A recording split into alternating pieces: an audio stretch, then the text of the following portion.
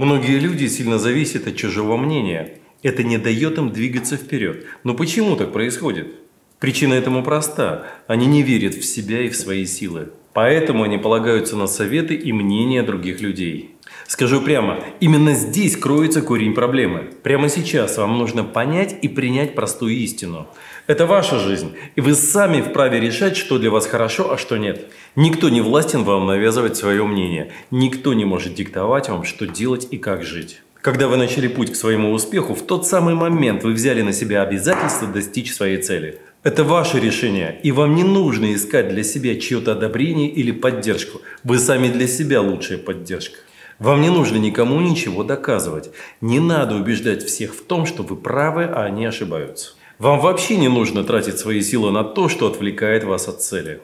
Поэтому откровенничайте поменьше и не позволяйте втягивать себя в пустые негативные разговоры. Люди вправе иметь свое мнение, даже если оно отличается от вашего и кажется вам неправильным. Оставьте их при своем мнении, идите вперед и не оглядывайтесь. Не спорьте, не говорите ничего, просто делайте то, что считаете нужным. Поначалу это сложно, но со временем вы станете лидером для самого себя. И тогда перед вами откроется самый прямой путь к вашей цели. Потому что вы перестанете отвлекаться и сосредоточите все свое внимание на том, что хотите именно вы.